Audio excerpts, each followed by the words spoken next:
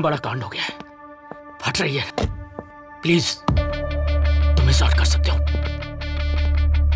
पता है हेलो दोस्तों, फ़िल्म एक्सप्रो में आप सभी का स्वागत है और आज की इस वीडियो में आप सभी के लिए एक बार फिर से लेकर आ चुका हूँ। इसी साल 2023 में रिलीज़ हुई हाल ही के दिनों में पाँच बेहद इंटरेस्टिंग माइंड ब्लोइंग सीरीज़ जिन्हें मैंने हाल ही के दिनों में देखकर खत्म किया है। लिस्ट में कुछ सीरीज़ ऐसे भी है, जिन्हें केवल और केवल 18 प्लस लोगों के लिए ही बनाया गया है। मतलब की इनमें अडल्ट सीन कुछ ज़्यादा ही डाले गए हैं। तो कुछ सीरीज़ बेहद इंटरेस्टिंग है, जिन्हें आप सभी को एक बार ज़रूर देखनी चाहिए। तो अगर आप इस लिस्ट के किसी भी सीरीज़ को मिस नहीं करना चाहते तो वीडियो में अंत तक बने रहे।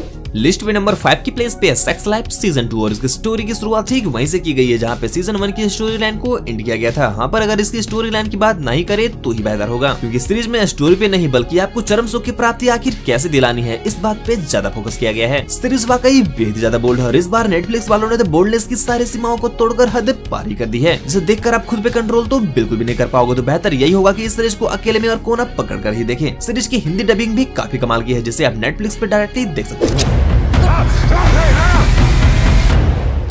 पैदा होने के बाद पाँच साल तेरी कांड साफ़ करा मैं। मेरे को मालूम उधर कितना गुर्दा है और कितना गू है।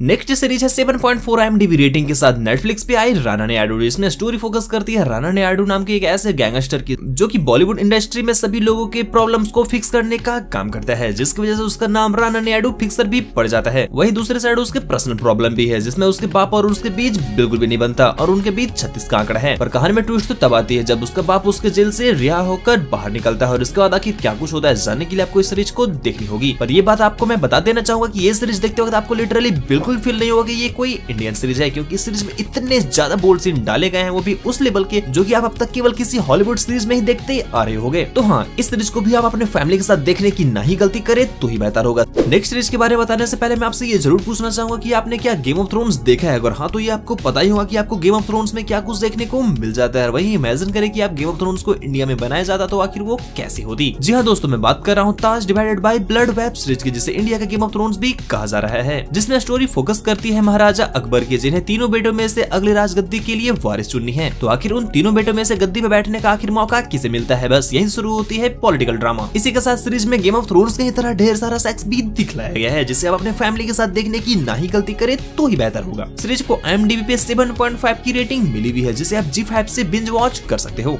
अगली सीरीज़ है नेटफ्लिक्स पे आई हाल के दिनों में न्यू सीरीज़ यू जिसका पार्ट वन और पार्ट टू दोनों ही रिलीज़ की जा चुकी है। तो अगर इससे पहले आपने इसकी पिछले सीज़न नहीं देखा है तो इस सीज़न को समझने में आपको थोड़ी प्रॉब्लम ज़रूर होने वाली है। यहाँ पर स्टार्टिंग में इसके रिकैप दे दी जाती है, जिसमें स्टोरी फोकस करती है जो नाम के ऐसे करेक्टर की, जो अपनी पिछले क्रिमिनल्स लाइफ को छोड़कर अपने एक नई दुनिया स्टार्ट करना चाहता है और किसी दूसरे कंट्री में चला जाता है। पर कहानी में ट्विस्ट तो तब आती है जब वहाँ उसे एक ऐसे मर्डर में फंसा दिया जाता है जो की उसने किया ही नहीं होता। तो आखिर जो की पीछे हाथ धोकर कौन पड़ा है और क्या अंत तक जो इस प्रॉब्लम का सामना कर पाता है या नहीं जानने के लिए आपको इस सीरीज़ को देखनी होगी। और आज की इस लिस्ट के नंबर वन की प्लेस पे है पिछले साल 2022 में आई इंडिया की बेहद interesting masterpiece series Rocket Boy का सीज़न टू जो की एक दिन पहले ही रिलीज़ की गई है। और सच कहूँ सीज़न टू अपने सीज़न वन की ही तरह अपने सभी उम्मीदों पे खरा उतरती है, जिसे हर इंडियन को एक बार तो ज़रूर देखनी चाहिए। यहाँ पर मैं आपको एक बात ज़रूर बता देना चाहूँगा की ये सीरीज़ हर किसी के लिए बिल्कुल भी नहीं बनी है। तो अगर आपको डॉक्यूमेंट्री टाइप सीरीज़ देखना पसंद है तो ये सीरीज़ आपको डेफिनेटली काफ़ी इंटरेस्टिंग लगने वाली है, जिसे आप सोनी लैब से डायरेक्टली देख सकते हो। और आई पे 8.9 की काफ़ी बेहतरीन रेटिंग मिली हुई है।